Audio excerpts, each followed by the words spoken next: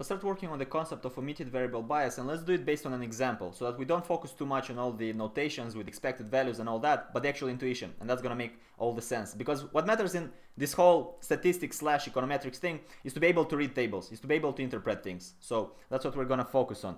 Now notice this, we have here two models. In the first model, we're regressing earnings, right? How much people make in, in money based on their height, apparently that's a determinant, it's significant as we can see, and that effect is given to us by the slope coefficient, which is 707.67. Let's suppose that height is measured in centimeters, earnings is measured in dollars, so how we would interpret it is if someone is uh, has a height higher by one centimeter, so height increases by one centimeter, then the then the earnings would go up. The earnings would go up by 707.6 dollars per year.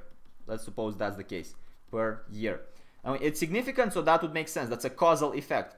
And in the second model, what we're trying to do is we estimate the same regression, but we add one more variable because we have a thought that maybe this single variable is not enough to make an accurate prediction. So we do so, we regress earnings based on height as we did before, but now we include the effect of education as well, because it would make sense that education affects earnings, right? Education affects earnings, and maybe education has something to do with height. That's something we'll discuss in the next video. But for now, let's see what the intuition is here. Both of them are significant because the p-value, as we can notice, is 0.00 for both cases. But notice now the coefficients.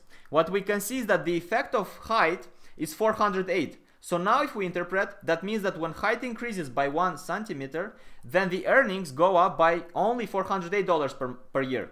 Earnings go up by 408 uh, dollars dollars per year. Why is that the case? Notice it goes up by less than before. Well, that's because over here we were missing a variable we were omitting a variable. That's where this is coming for. That's that's where this is coming from. And because we were missing one variable, we were not including the accurate effect.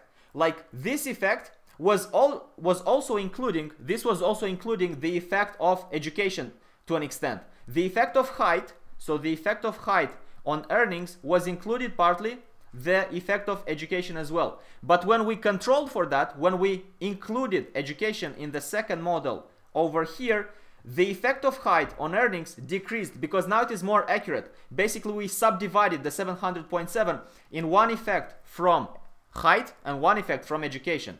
So one effect from height and one effect from education. That's the intuition. So what happened here is that we were biased. Biased means that we were not accurate because we were missing something. We were omitting something. And that's the variable that we were omitting. In the next video, we'll see graphically what's the intuition behind this OVB when it happens and when it doesn't.